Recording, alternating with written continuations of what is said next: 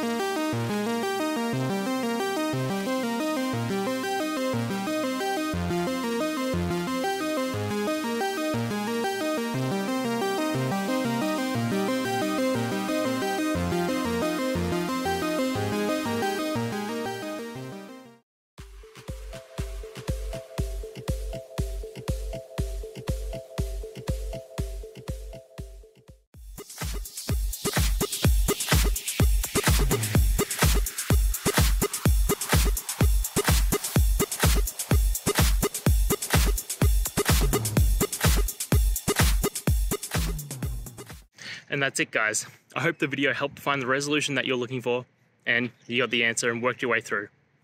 If it did, please hit subscribe. I'd really appreciate it.